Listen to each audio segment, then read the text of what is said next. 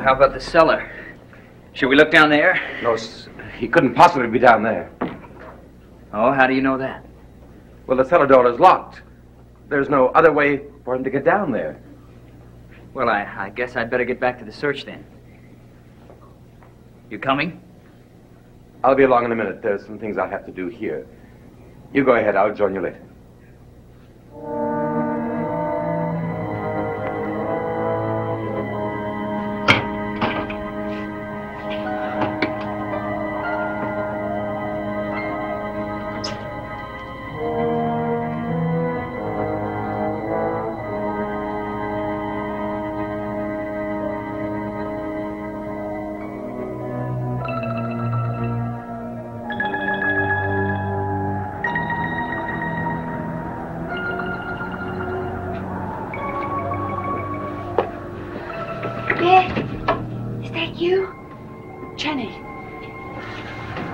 I went to visit someone.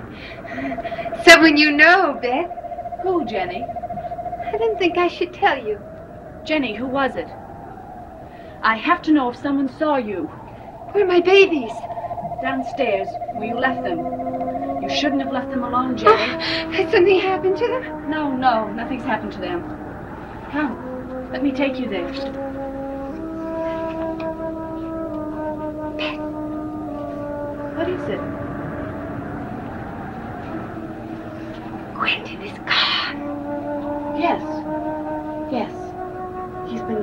For a long time. It doesn't seem so very long. Jenny, please, come with me. Come.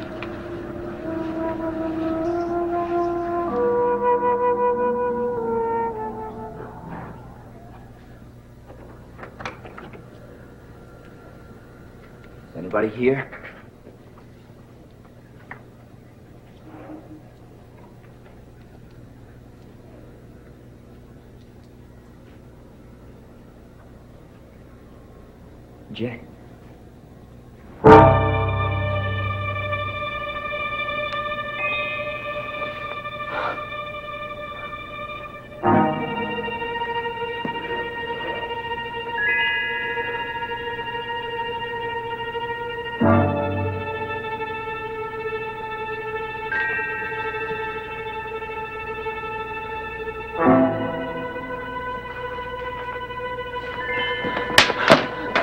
Wilkins. You're going to stay here and answer a lot of questions.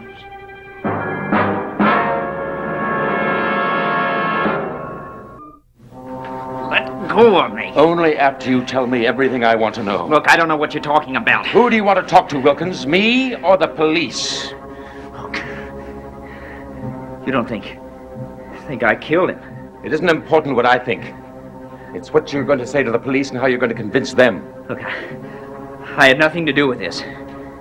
You had a motive, didn't you? Look, I, I don't know what you're talking about. You and Quentin were both interested in the same woman, Beth. Now, he was winning her. So you got angry at him and you came here and killed him. You're crazy. I am not the person to think about. It is the police who will reason this. Tell me, how did you get here so soon after I did? I followed you here from the old house. Well, then I don't have to worry about what you're going to tell the police, do I? You got here like one minute after I got here, so I didn't even have time to kill him. So you can tell the police that. I can, but I might not. What do you mean? I'll help you, Wilkins, only if you help me. Help how? I told you there were some questions I wanted answered. What questions? You lied to me when you came to the old house tonight. You told me you were looking for a missing child. But I was. If that were true, you would have welcomed my joining the search. But you didn't.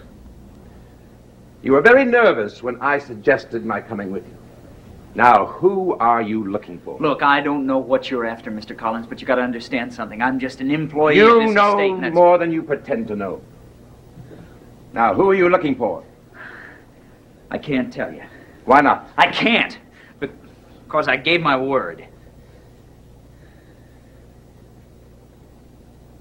You gave your word before there was a murder. And now you are the prime suspect in that murder. Listen, you know I'm innocent. You're not going to just stand by and see something happen to me. I know that. I can and I will. I had a reason for coming to Collinsport. There are some things that I want to find out. Like who killed Quentin tonight and why. Why do you think that I know who killed him? It's very easy to understand that. You were searching for someone in the woods tonight. And judging by your behavior when you came to the old house, that person could be dangerous. Now, who is it? Mr. Collins, you gotta understand, I, I got a good job. I, I don't want to lose it. I promise you that your, this will be kept in the strictest secrecy. Your job will not be jeopardized. All right. I was searching for Jenny. Jenny? Yes. See, I was the reason that she escaped. When I brought her her food the other night, she hit me over the head. She took my keys and she ran away. Mr. Collins, you gotta understand, she's crazy in the head. She could hurt herself. Or somebody. Who do you mean by we? Beth. Beth and Miss Judith. So Jenny was the one who was locked up in the tower room. Yes, uh, until a couple of nights ago, and then they put her down in the basement in a cell. See. Just who is Jenny? Is she by any chance Edward's wife? No. She's Quentin's wife.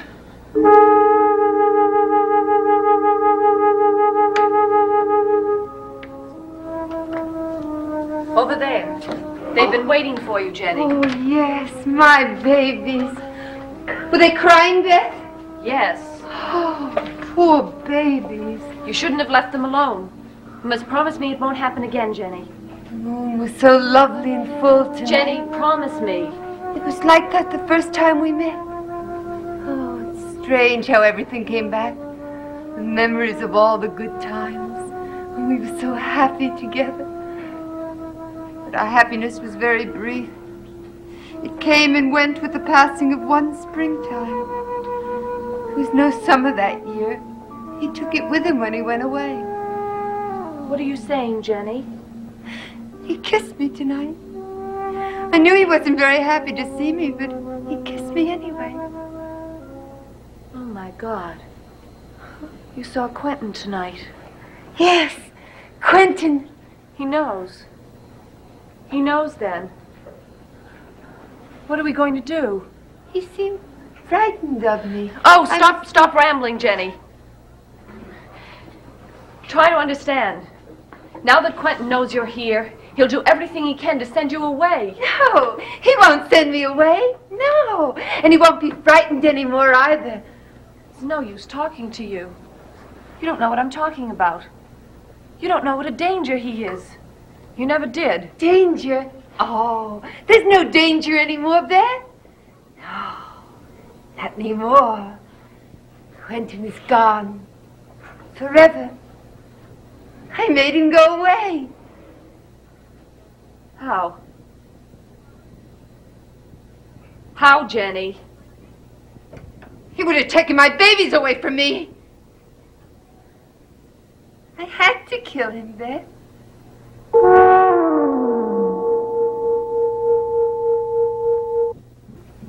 Angelique.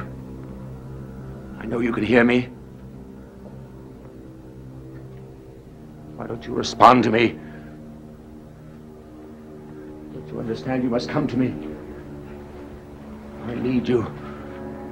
I need you. Why, thank you, Barnabas. Angelique. You have no idea how gratifying it is after all these years to hear you finally admit that you need me.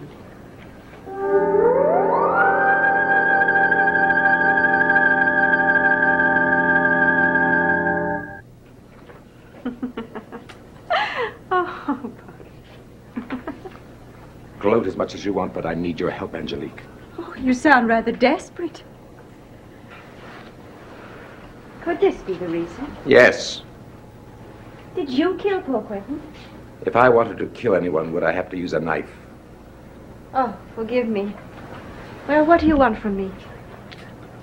You have the power to restore this man's life. That's what I want you to do. I thought you hated Quentin Collins. I do. Well, then you should be very glad to see him dead. Well, I'm not. Why? Will you do this for me? Not until we settle two things your motive and my price. You knew there would be a price, didn't you? Yes, I know you well enough for that. But we'll discuss your motive first.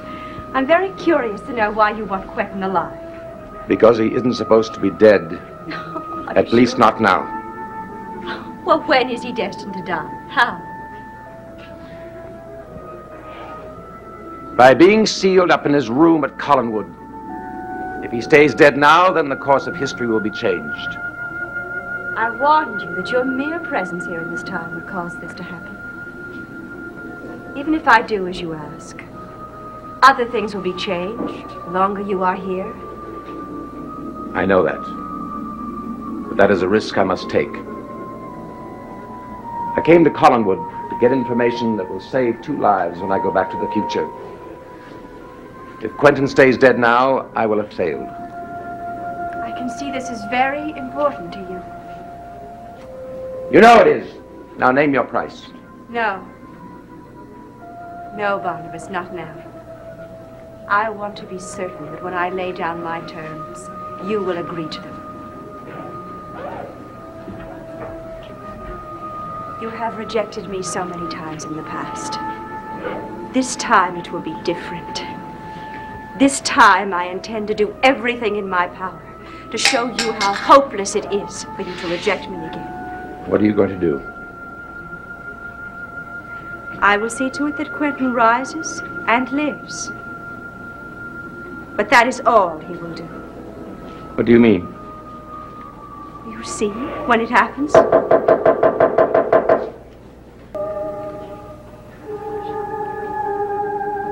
When I give the command, Quentin, you will rise and walk again.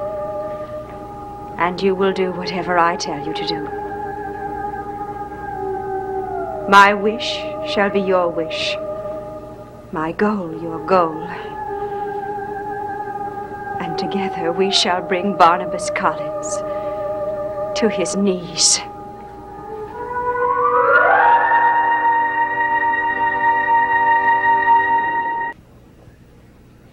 Then you'll tell Edward to telephone when he arrives. Thank you, Mr. Snell. He's expected to the accountant's office in Bangor, but he's not there yet. Did you tell Mr. Snell what happened? No. Only that Quentin had had a serious accident. He wasn't surprised. He said, yes, Quentin always was a mischievous fellow. Hmm. Well, he's all finished with his mischief now. And I can't say I'm sorry. Carl, please. He was our brother. You might at least try. to- Oh, and missed the chance to say all the things I was afraid to say when he was alive? Oh, never. Quentin Collins, you were a bounder and a bully, a rake and a lecher and a liar and a... What's the matter, Carl? Judith, he moved. I swear. Lying in his coffin. Quentin moved.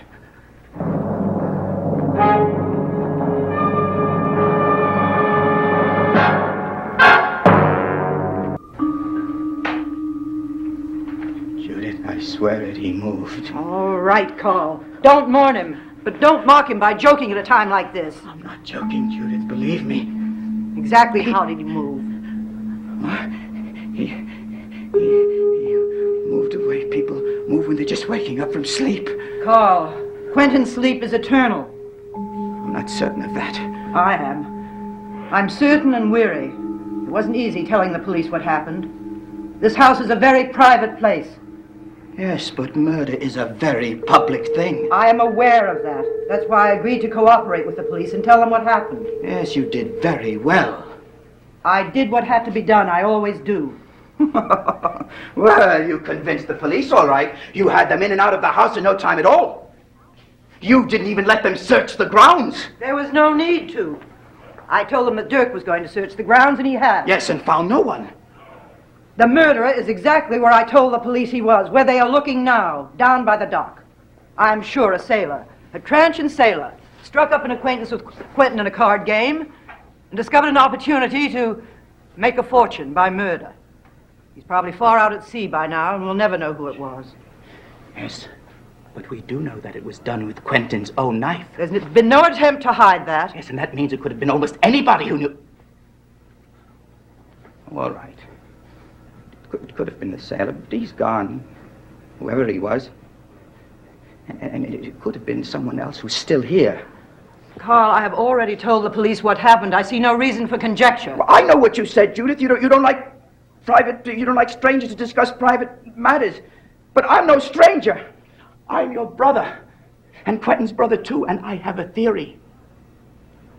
Quentin was not killed by a stranger. Carl, don't you listen at all. The murderer knew him. His family and his friends. And his women. They were the ones who had reason to hate him most. yes. I have a couple of ideas about that. Well, I'll admit they're private matters. Maybe they shouldn't be discussed with others. But still, they must be said. Can't you let Quentin rest even now? While Cousin Barnabas is walking around. Cousin Barnabas? Yes, what was he doing at the cottage? And why was he right there when, when Quentin's body was discovered? Now, there's something eerie about that and about him, too. Cousin Barnabas is always a gentleman, and a very considerate one at that. Yes, so considerate, considerate he wouldn't even come to grandmother's funeral. Wouldn't even be a pallbearer and walk her to her grave. He's explained that. He had very urgent business in Bangor that day. All right.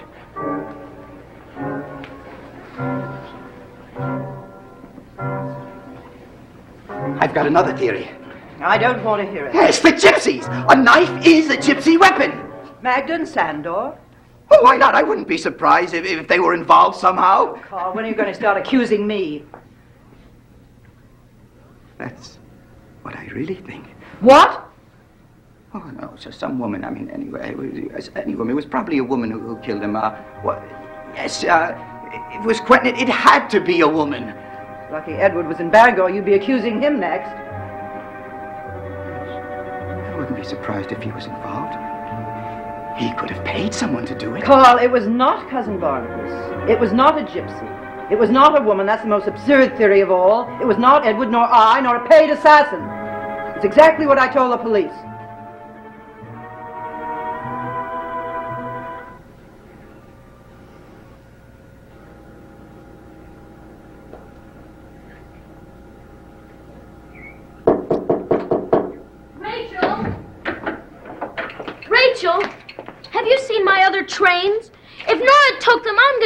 Jamison.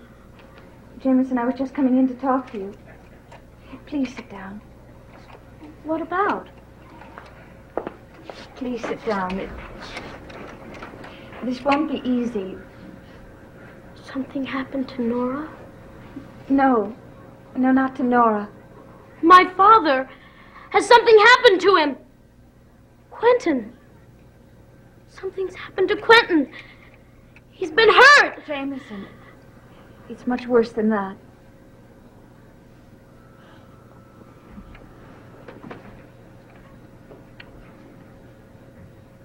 He's dead. I, know how close you were to him. But you must be brave now and help Nora. It won't be as bad if you stay together. Jamison. Jamison. Jamison, where are you going? Quentin will be killed by a woman. And grandmother used to say, Oh, grandfather, stop talking such nonsense. Stop talking nonsense. Well, I was only saying what grandfather said. Jamison. Rachel told you, didn't she? Your Uncle Quentin is dead. You know that, don't you? I know he's not dead. But I know he's not dead. He's not! I know he's not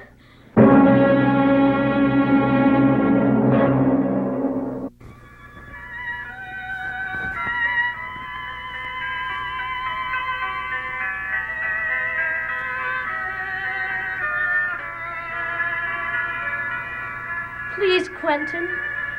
Don't be dead. Please don't leave me alone.